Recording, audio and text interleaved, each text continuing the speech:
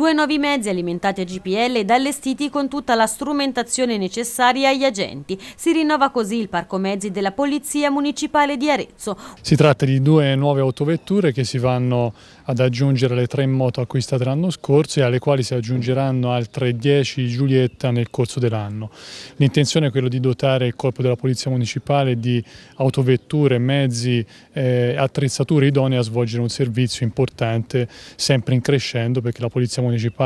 non tutti lo sanno ma fanno veramente tantissimi servizi che i cittadini non notano in maniera diretta ma che sono molto importanti per il territorio. Questo eh, fa parte di un pacchetto che l'amministrazione di Arezzo ha inteso mettere a disposizione della Polizia Municipale proprio perché è un'amministrazione che è sensibile al tema della sicurezza. Noi siamo ovviamente impegnati sul fronte, eh, anche, anche l'altro giorno eh, l'arresto che è stato fatto eh, è stato determinato dal fatto che il, la nostra pattuglia era vicina al fatto dove è avvenuto l'increscioso episodio del bar e quindi ha permesso un intervento direi quasi immediato con eh, la, eh, la,